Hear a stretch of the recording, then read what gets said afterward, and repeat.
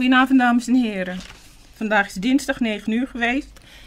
En zoals altijd is het weer tijd voor 12 uur lo. Ik ben Makeda. Makeda, ja. En ik ben blij er weer eh, te zijn. Ehm, ja, in het begin ging het even eh, mis. Omdat ik met een nieuw, nieuwe eh, intro wil starten. Behalve de Surinaam, ons Surinaams volkslied wil ik daarnaast ook nog de stem van een hele speciale mevrouw als mijn intro gebruiken. Omdat zij zingt over onze bigismas. En eigenlijk gaat alles waar we het bij 12 over hebben, over onze bigismas. Dus dat wordt voortaan mijn nieuwe ja, intro. Samen met ons geliefd volks, volkslied. Nou, we zijn er eindelijk en dan gaan we gewoon beginnen. Voordat we beginnen kijken we natuurlijk altijd naar wat we de afgelopen weken hebben gedaan. Waar we het de afgelopen week over hebben gehad. En de afgelopen week hebben we het gehad over um, zonde, overtreding en ongerechtigheid. We zijn een beetje dieper erop ingegaan. Um, en iedere keer gaan we dieper erin. We hebben het over de zeven hoofdzonden gehad. Uh, we hebben het erover gehad dat in het, um, in, in, in, in het Westen, waar we nu in uh, leven, um, is er een hele economie. En die is gebouwd op, um, op deze zonden. Deze zeven hoofdzonden en nog, nog een paar. Dus zonde is geld, is economie, zorgt voor werkgelegenheid, zorgt voor pegels, voor doekoe. We hebben het gehad over dat um, mensen de zeven hoofdzonden ook kunnen meten. Want men zegt, meet je iets, dan weet je het. Dus meten is weten. Er wordt dus um, gemeten hoeveel of uh, welke zonden um, uh, in welke gebieden het meest wordt eigenlijk uh, gebezigd door, uh, door de mensen die in een bepaald demografisch uh, gebied wonen. Um, ik zal meenemen om aan te geven welke zonden waar terug te vinden zijn. Maar ik kon, ik kon dat boek niet vinden. Ik kon het niet vinden en ik heb het me opgegeven. Als ik het ooit nog eens een keertje kom, dan zal ik het nog een keertje meenemen. Maar ik kon het nu even niet vinden. Um, we hebben het erover gehad afgelopen week. Even kijken waar we zijn. Maar ik heb zoveel papieren hier om me heen. Uh, waar hebben we het over? We hebben de zeven hoofdzonden hebben we ingedeeld naar mannen en vrouwen. Hè, welke zonde begaan de mannen Welke is hun top 1, 2, 3, zo naar beneden tot de zevende. Hetzelfde hebben we dus ook gedaan bij vrouwen. En we hebben gezien dat op nummer 1 bij mannen is lust. En nummer 1 bij vrouwen is ijdelheid. Mi mooi moro you, mi belle bigi moro you. En bij andere mannen en bij mannen is het mi lost alla vrouw die mi wani. En uh, alla fancy misadu fu kies alla oma, alla meisjes die mijn man Fanny. Want het gaat om mijn eigen lustgevoelens. We hebben het er ook over gehad dat al deze, zeven uh, hoofdzonden, dat ze gekoppeld zijn aan een, um, een van de gevallen watchers. En waar we het ook over, nog niet over gehad hebben, is dat de gevallen watchers, toen ze eenmaal niet langer in de hemel mochten blijven en naar de aarde verbannen zijn, dat ze demonen zijn uh, geworden. Maar daarnaast hebben we het ook wel erover gehad dat de gevallen watchers kinderen kregen met mensachtigen. En dat de kinderen van de mensachtigen en deze uh, gevallen uh, wezens, dat zij dus de reuzen waren, de Nephilims, toen ze stierven, was er geen plek voor ze in de hemel. En waar ze nu dus zijn, zonder lichaam, is in het geesten, uh, in, het geesten uh, in de spirit, in de geestenwereld. Ze zijn er nog, alleen ze zijn zonder lichaam van vlees en stof. Dat wat wij noemen disembodied. Dus zonder lichaam. Waar hebben we het nog meer over gehad? We hebben het erover gehad dat onwetendheid is geen onschuld, maar een zonde. Daarnaast hebben we het erover gehad dat Anana heeft laten optekenen door onze voorouders dat wij als twaalf voelo ten onder gaan aan onwetendheid. Dus onwetendheid is zonde en wij van twaalf voelo gaan aan onwetendheid ten onder. Onwetendheid in wie we, in, in, in, in, wie we zijn, want we weten niet wie we zijn. Onwetendheid omdat we de goden volgen van andere uh, natieën. Onwetendheid in, uh, in, in, in, in, in de winties, in de engelen die um, ons uh, begeleiden. Onwetendheid van ons doel waarvoor we gecreëerd zijn als individu en als collectief. Um, we hebben het erover gehad dat een zonde een, um, gelijk is als weten dat je mag doen sani, maar dat je het toch doet. Dat is een zonde. Um, we hebben het erover gehad dat een overtreding is wanneer je iets doet wat niet mag, maar je was je er onbewust van. En het ergste hebben we het erover gehad, dat is ongerechtigheid. Wat dat wordt gestraft, bestraft en wordt een kunu tot in de derde, vierde geslacht. En dat de persoon die het begaat, zo'n zonde, wat dan ongerecht, ongerechtigheid is geworden, moet incarneren om deze zonde um, als het ware te niet te doen. Want dat is nou eenmaal de wet van karma. Waar hebben we het nog meer over gehad? Uh, we hebben het erover gehad dat bepaalde geloven, bijvoorbeeld de Hindoes, die zien uh, zonde als een illusie. Het christendom ziet de, en de islam die zien de zonde als een fout die mensen maken, maar dat mensen in essentie goed zijn en fatsoenlijk.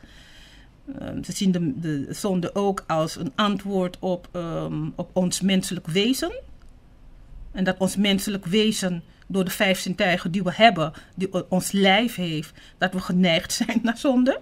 Maar dat onze jeeën misschien wel, of onze kra misschien dan wel goed en fatsoenlijk is, maar dat ons lijf geneigd is naar zonde.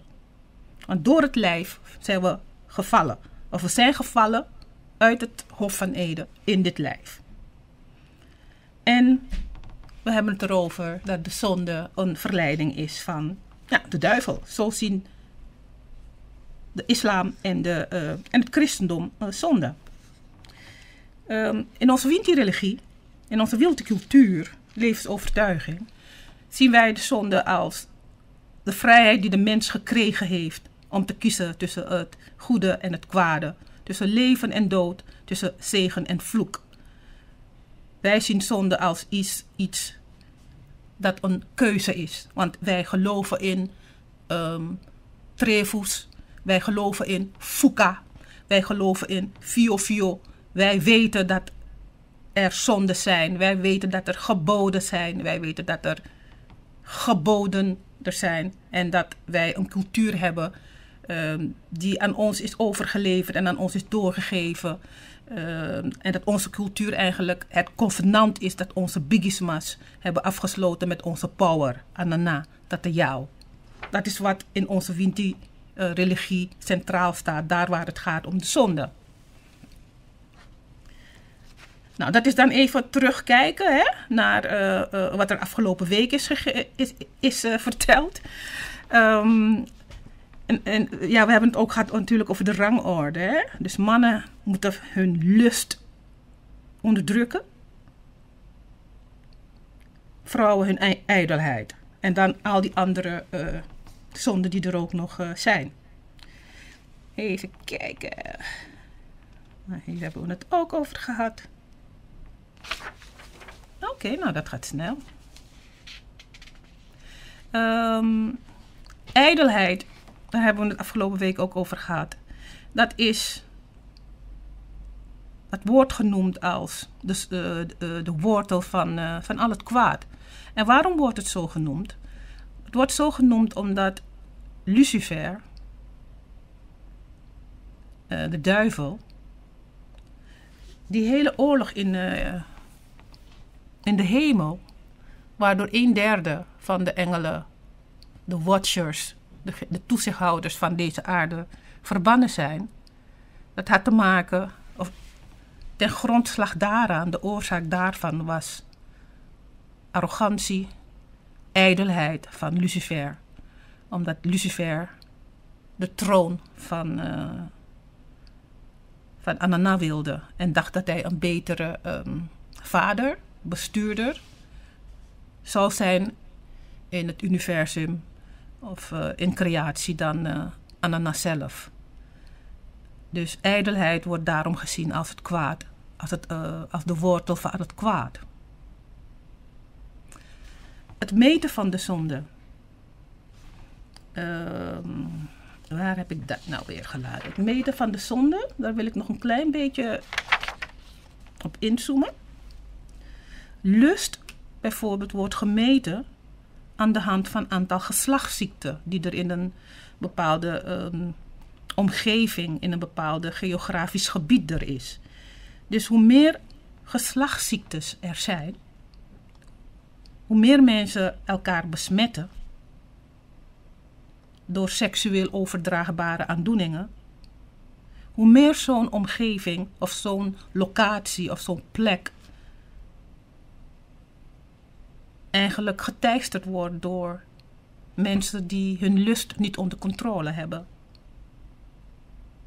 Zo meten mensen dat. Woede of toren wordt gemeten aan de hand van gewelddadige um, activiteiten, criminaliteit, zoals uh, verkrachting, moord. Hoe gewelddadiger, hoe meer woede men ziet onderling bij de politie, hoe meer men eigenlijk kan zien welke demon en welke hoofdzonde, hoofdzonde um, eigenlijk um, daar het meeste wordt, um, ja, wordt gepleegd. Afgunst, jaruzu, dat berekent men aan de hand van de aantallen diefstallen en inbraken die er gedaan worden in mensen auto's, in mensen huizen. Dat kun je ook dus bij de politie opvragen. Gulzigheid, greedy, nya alasani, Put alasan in je moffel, want je mond is ook een portaal. Dat brengt men in kaart door fastfood restaurants. Nou, wat is een fastfood restaurant? McDonald's is er één, Burger King is er één, Kentucky Fried Chicken is er één. Nou, het zijn er heel veel. Als je kijkt naar waar dit soort fastfood restaurants um, als paddenstoelen uit de grond uh, reizen, daar heeft men dus te maken met een gulzigheidsdemon. Hebzucht. Hebzucht berekent men, mensen, of berekent men, door te kijken naar de gemiddelde inkomsten. Hoeveel verdient men gemiddeld in een bepaalde locatie? En hoe leven de mensen? Leven ze onder of boven de armoedegrens? Hoeveel uren werkt men? Dus hebzucht is ook te berekenen door naar de inkomsten te kijken en deze te vergelijken met mensen die van rijke mensen, midden, middeninkomsten en mensen die armoede, uh, dicht bij de armoedegrens leven. Dan heb je lui, luiheid. Luiheid berekent men door te kijken naar mensen, de, aantallen mensen die werkzaam zijn in, uh, in de recreatie. En recreatie is uh, vermaak, vrije tijdbesteding. Bijvoorbeeld mensen die in de gym werken, uh, mensen die um, ja, uitbaters zijn.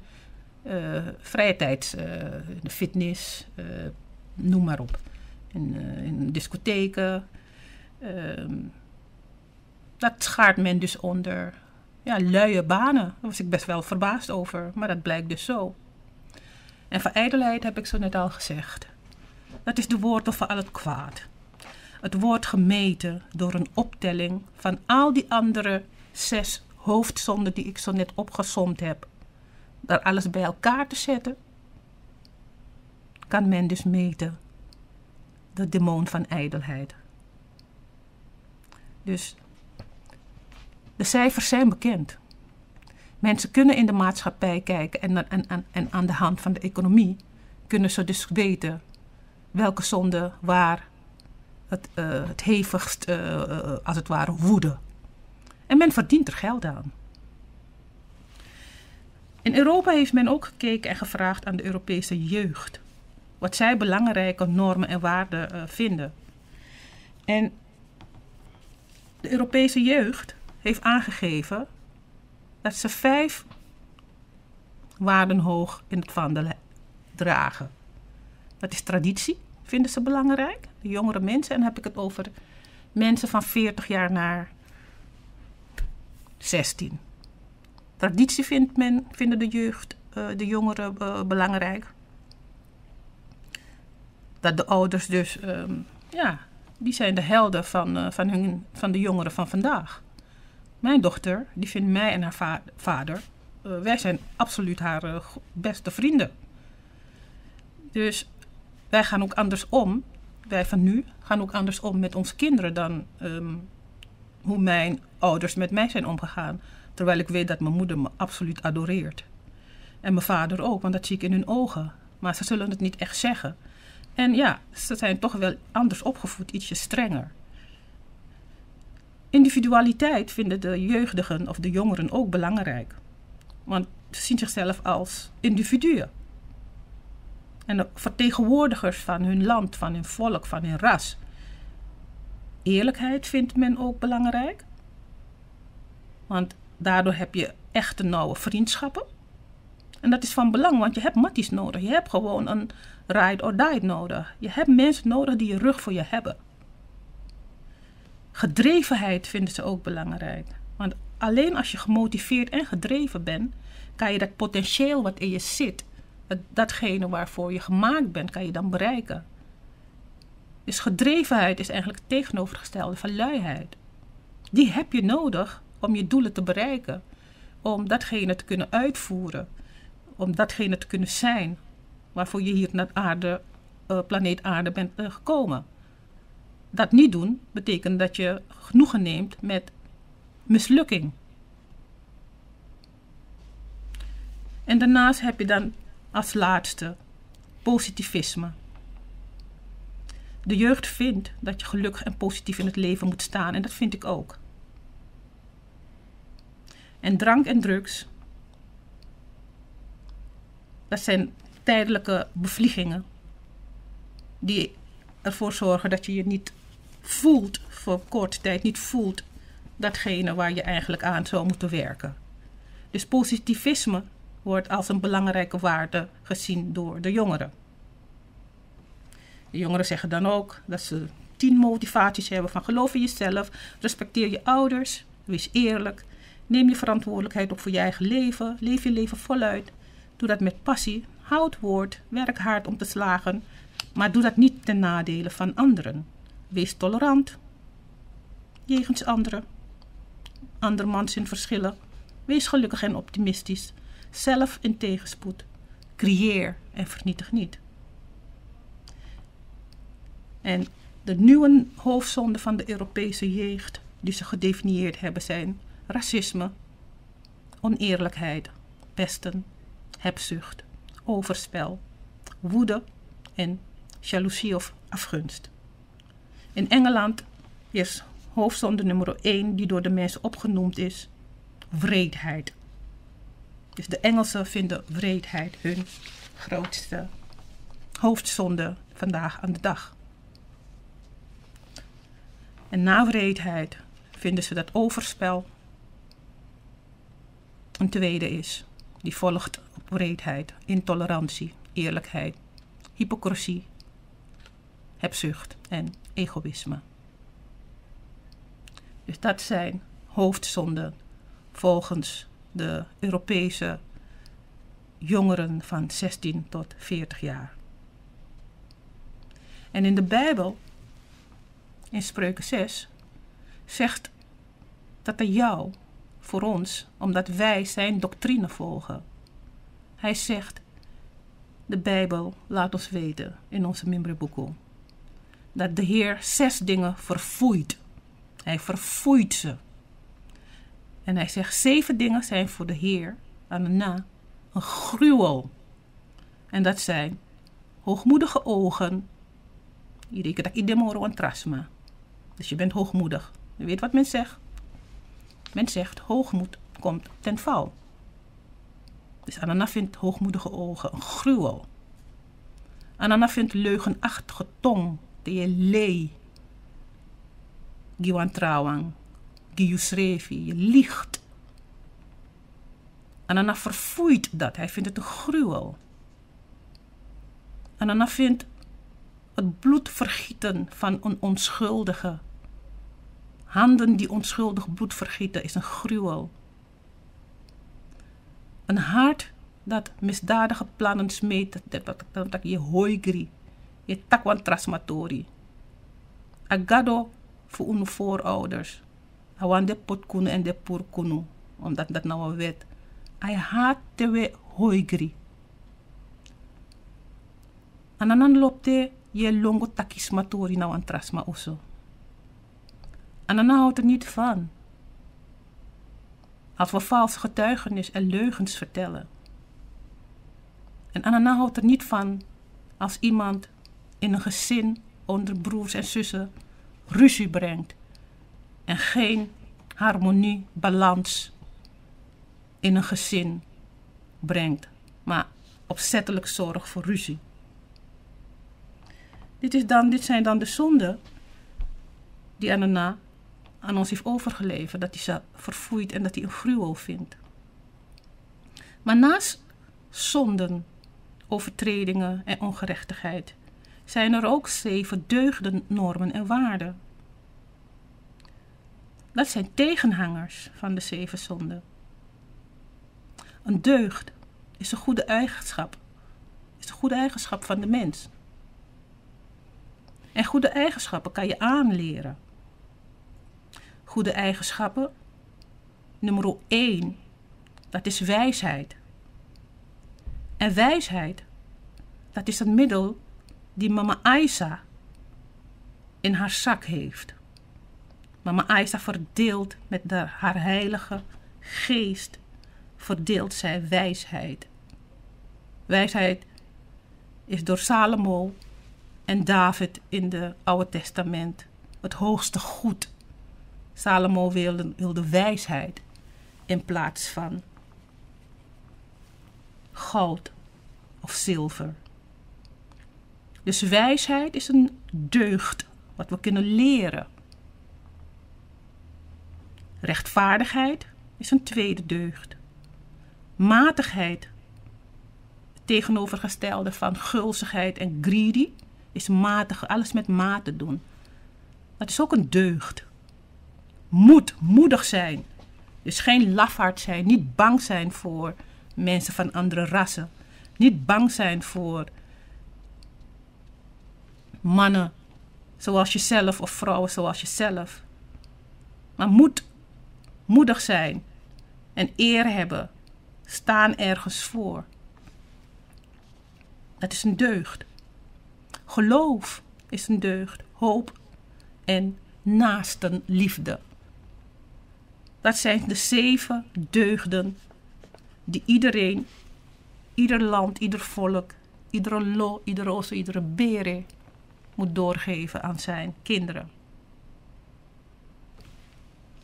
Dat zijn dan de, um, de zeven zonden en de zeven uh, deugden. Dan zijn we gekomen bij deel 1 van mijn uh, uitzending, van de uitzending vandaag. En ik ga een pokoe zetten. En na de pokoe gaan we verder. Maar dan gaan we naar de demonen, de zeven hoofdstonden en de zeven aartsengelen. Maar nu ga ik eerst even een van mijn favoriete Forgive Them Father. Uh, The Miseducation of Lauryn Hill. Een van haar meest kwetsbare en ehm, leuke nummers. Deze mevrouw heeft echt, die was haar tijd ver uh, vooruit. En ehm, een, van haar best, een van de beste uh, ja, cd's die er, die er is. Lauryn Hill. Maar zoals ik al had gezegd, we gaan verder met demonen. We gaan ze koppelen aan de zeven hoofdzonden. En we gaan kijken naar de zeven aartsengelen. Want ik had al aangegeven dat op je ene schouder staat een engel en op de andere een demon. Wat is een beschermengel? Een beschermengel. Een engelbewaarder. Een wachtengel. Een bewaarengel. Is een engel die het beschermen en het begeleiden van een bepaalde persoon, van groepen of naties als taak heeft. In Suriname zeggen wij Jojo. Is een beschermengel, een Jojo, een engelbewaarder, een schutsengel, een wachtenengel, een bewaarengel. Is een engel die begeleidt een individu, dus jij die me hoort, maar ook een hele groep. Twaalfulo heeft zijn eigen engel. Suriname als natie heeft zijn eigen engel. Ik zou graag willen weten wat de naam is van de engel die Suriname als land daar in het noorden van Zuid-Amerika, aan de grens van de Atlantische Oceaan, welke engel de verantwoordelijkheid heeft om ons als land, als Mamio-land, te leiden, te begeleiden. En ons groei, als het ware, erop toeziet dat we groeien. Er is een engel. Er is een convo, een winti. En ik ben zeer benieuwd te weten wie dat is. Maar dat weet ik niet.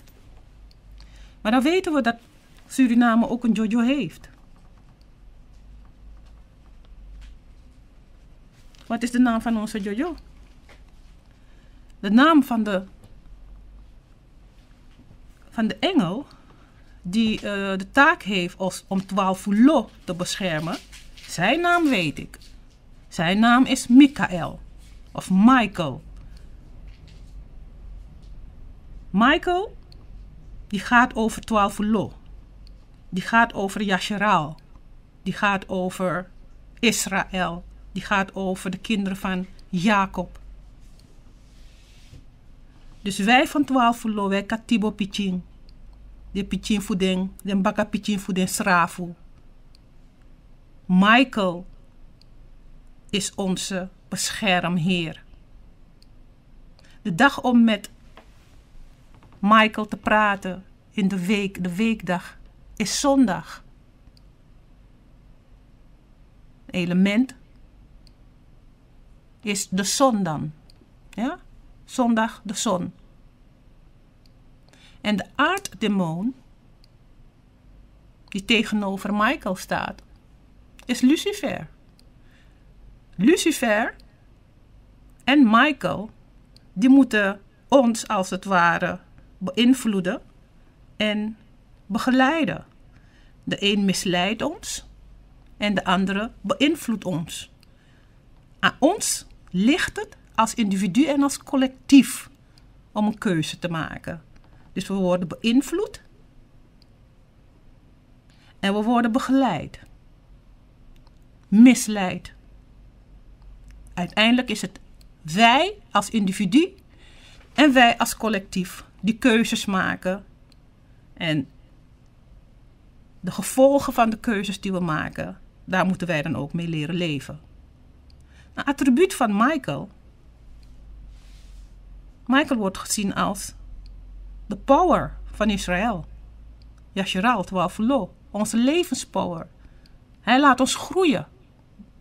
Als we zijn beïnvloeding. Als we daar naar luisteren.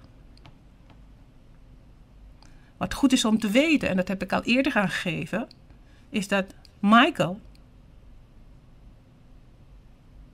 die is de je van onze Fossipa en hij is gebonden aan planeet aarde, omdat alle mensen uit Adam, ja het is koud, dat is een andere naam, een van zijn eerste namen, vind ik heel moeilijk om uit te spreken. Daarom noem ik hem gewoon zoals we de Winti hem, Wintis hem noemen, Fossipa en Fossima. Fossipa en Fossima, die zijn de stamvader van twaalf Lo. Zijn naam was Yatsekaut, of Adam, toen hij een mens was. Toen hij de transitie, de overstap heeft gemaakt naar Jeekondre, toen hij dood is gegaan, toen hij de aarde heeft verlaten, heeft hij aan, aan, aan Anana en aan Tatayo gezegd dat hij de taak op zich neemt, omdat alle mensen hier op aarde uit hem komen, dat hij de taak neemt als aardengel om zijn nageslacht te begeleiden. Dus dat is dan de zondag. Michael en Lucifer. Lucifer is degene die ons aanklaagt. En Michael is degene die ons uh, verdedigt. Als twaalf collectief en individu. Zij zijn dan ook de twee getuigen wanneer we naar die Krutubangi gaan. Zij weten wat wij gedaan hebben aan overtredingen, zonden en ongerechtigheid. De een is verdediger en de ander is aanklager, zoals hoe het in een normale menselijke krutubangi gaat, gerechtshof. Zo gaat het daar ook in, uh, in de wereld, in de celestiale wereld van Anana. Laten we bijvoorbeeld even kijken wat onze memberboek zegt over demonen. Ik weet niet of er mensen zijn die het verhaal kennen van koning Saul. Want wij als twaalf verloor, Anana wilde ons geen koning geven, geen president en geen regeerder. Wij moesten als twaalf verloor begeleid worden omdat Ununa Jeesma door priesters, profeten, Lukumang, Dumang, Bonumang, Bonuuma, orakels. Dat na auroko fu twaalf lo. Koningpriesters. De umananga de man fu twaalf lo. Eshi, sa trawa no eshi, omdat unuman tak nanga de winti. Het is niet een ander gegeven. Dan ik una mag moksi. Het is een bloedlijn iets. Saul is gekozen als eerste koning. Brada nanga sa me begu no lees a memre buku, want de bigis maf unu. Den de in a memre buku. En natuurlijk, de verander om en niet. Alles wordt wit gewassen. Maar nou, de in wat omkent erin waarin alles weer naar zijn eigen oors, oorsprong gaat en naar zijn eigen oorzaak. Dus alles wat ze wit gewast hebben, gaat toch terug. En we gaan er steeds meer achter komen dat Omoro Igo dipi in de geschiedenis voor a planeet die omoro alasane blaka omoro yeshitak na 12 fulo praat schrevi of prati panya i heer grondtapu fugo du awroko sa anana pot ding namelijk poer ding masa elibi jata pagrontapu ondro a juk voor um, de gevallen engelen en potumba katap a doctrine voor tata jou en a doctrine fu tata yau na a doctrine fu anana na nga a Santa Yeye. Maar we hadden het over Saul. Saul is gekozen als eerste koning. Maar later, Saul zijn ego speelde hem op. En Saul werd eigenlijk slecht. En degene waar hij slecht naar werd, was zijn opvolger David. Saul werd jaloers op David, ondanks Saul geleid werd door de Heilige Geest. Want iedereen die twaalf um, hoe moet je dat zeggen? Dat aan jou heeft aan ons achtergelaten of, en, en voor ons overgelaten dat in gwelip agrontapudici. Maar dat ane gwelip voor altijd. Daar waar er zoveel verderf is, stuurt Anana mensen met kennis om het verderf eigenlijk te kunnen counteren. En datgene wat gestuurd wordt, is de Heilige Geest. En de Heilige Geest is wijsheid. Dus men krijgt wijsheid, men krijgt dromen, men krijgt giften van Mama Aisa. De deugden die aangeleerd kunnen worden. Bij koning Saul kunnen we zien dat toen zijn ego opspeelde, dat de Heilige Geest hem verlaten heeft. Want asanta yeye no elibi in aself de sting, pe ook toe een demon elibi. Want lek van wint die asiwa libisma, so asanta yeye e asiu, maar zo ook toe a asiu en kring nanga kring een uh, kring nanga nanga nanga doti no elibi in wa oso. Bij koning Saul zagen we dat toen de Heilige Geest hem verliet, toen zijn ego opspeelde, dat meteen demonen zijn lichaam als het ware binnentreden en enterden. De enige manier om die demonen uit zijn lichaam te halen is wanneer er op de harp werd gespeeld, omdat ze niet tegen dat soort muziek kunnen. Want dat muziek is heel gebalanceerd, harmonieus en het is bijna goddelijk. Dus demonen kunnen dan niet tegen harp en viool muziek. Men zegt, men, onze voorouders hebben voor ons achtergelaten, dat als een man of een vrouw door een demon wordt bezit, wat noemen een demon wanneer? Dat na mik gebruik voor de vijf zintuigen voor asching, het lichaam, omdat ze zelf geen lichaam hebben. Ze zijn lichaamloos.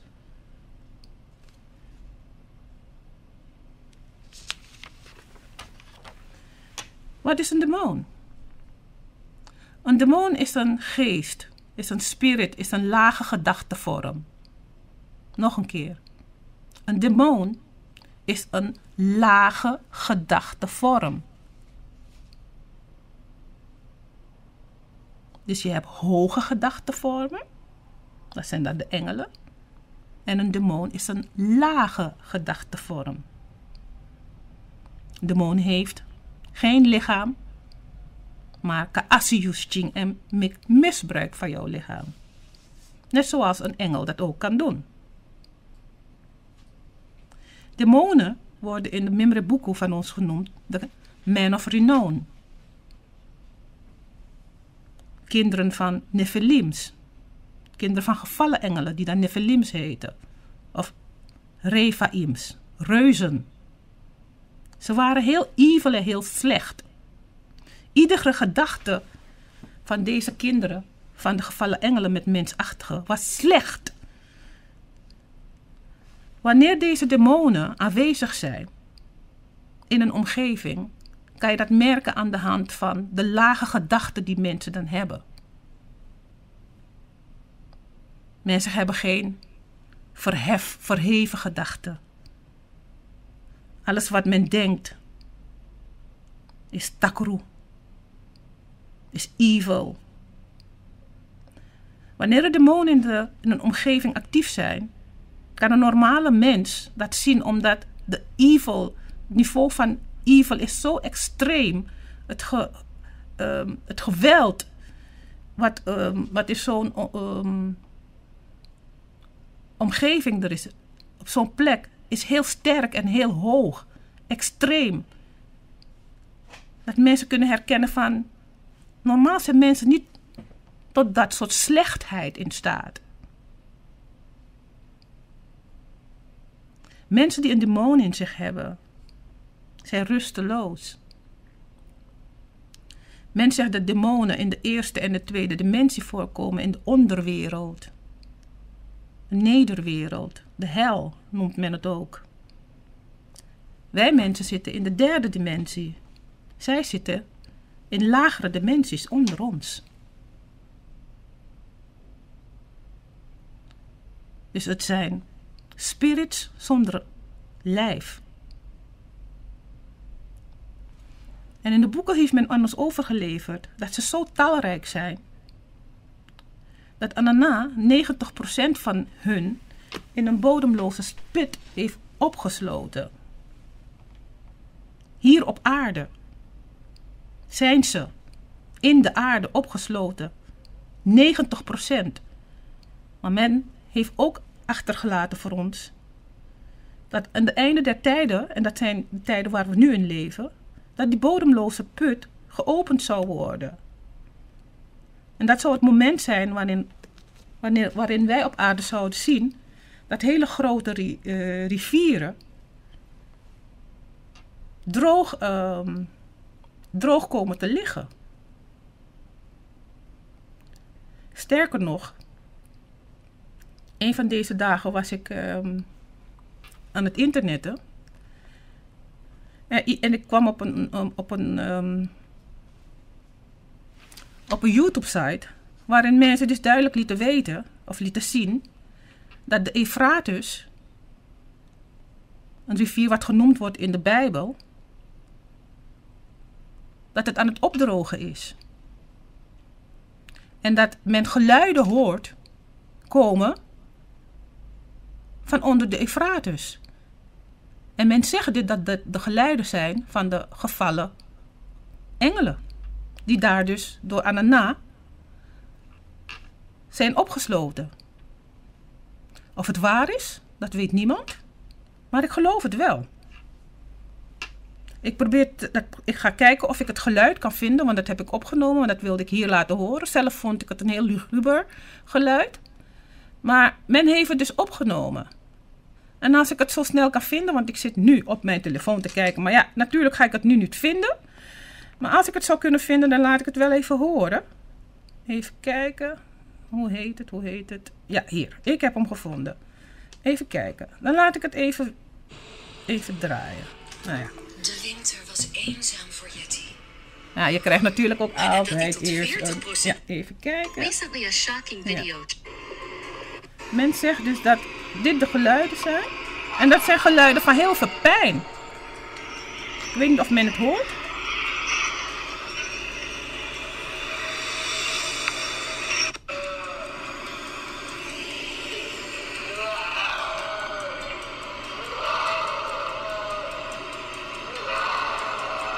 Dan hoor je dus, hoor je de stemmen van mannelijke wezens in heel veel pijn. Anyone who hears it will certainly goosebumps and amazed astonishment. Ja. Ik heb het naar geluisterd terwijl, het, uh, terwijl ik moest gaan slapen. En ik moet wel eerlijk zeggen, ik moest wel even bidden, want ik kreeg er gewoon kippenvel van. Dus je kan het zelf ook opzoeken op YouTube. En dan ga je, ga je het beter horen. Um, geluiden van, uh, van, van wezens die, uh, die gevangen gezet zijn. Hier op aarde van Azazel, en zometeen ga ik de namen noemen van al deze gevallen engelen.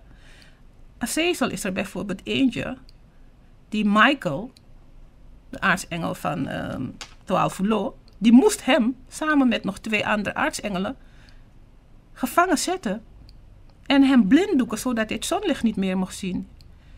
En men denkt dat onder de Efratus, rivier die, die nu dus opdroogt, dat Azazel degene is die daar gevangen zit, geketend en met een doek over zijn ogen, zodat hij uh, niet meer in staat is om de mensen te verleiden. Want hij is degene die mensen geleerd heeft om wapens te maken. Hij is degene die vrouwen geleerd heeft om zich mooi te maken. Uh, Make-up. Uh, Azazel heeft heel veel kwaad in de wereld ge, gebracht. En, daarna vond het absoluut noodzakelijk dat hij um, niet langer op aarde kon rond um, uh, uh, dolen van noord naar west, van zuid naar oost. Dus hij is al jaren gevangen onder hier op aarde. Nou, om dan terug te komen. Er zijn dus 90%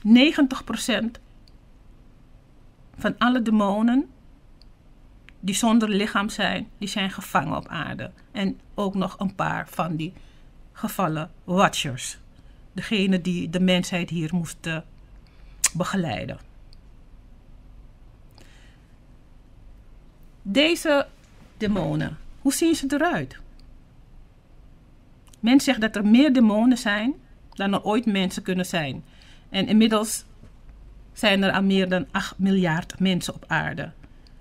En er zijn veel meer demonen dan mensen.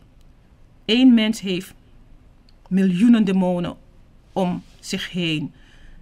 Loeren, zoeken naar zwakke plekken om ons te kunnen misleiden. Demonen, als ze zich laten zien aan mensen in hun ware vorm, dan hebben ze, zien ze er echt grotesk eruit. Grotesk. Ze hebben gezichten van dieren, voeten van dieren. Um, Google het en dan zie je hoe ze eruit zien. Um, combinaties van drie hoofden. Een mensenhoofd, de andere een hondenhoofd. Dus ze zien er afschrikwekkend uit. De vloed van Noah was een tijdperk waarin, de, waarin Anana deze um, wezens als het ware voor de mensheid heeft opgeruimd. En als we kijken in de Nieuwe Testament, dan zien we dat Tatayao veel demonen uit mensen verdreef en sommige zelf in varken um, stuurde, zodat ze in ieder geval een lichaam konden hebben. Dat is ook een van de redenen waarom we eigenlijk gewoon geen varken moeten eten. Maar men zegt dus dat er 72 goede engelen zijn die ons begeleiden als mensheid en 72 demonen. Ik zie dat ik vandaag weer aan het eind ben gekomen. Ik heb absoluut niet behandeld wat ik wilde behandelen. Maar ik zie dat ik aan het eind ben gekomen. En een uur gaat snel voorbij. Dus zorg ervoor dat je de volgende week weer bent. Want over 30 seconden word ik eruit gegooid en dan volgt het nieuws.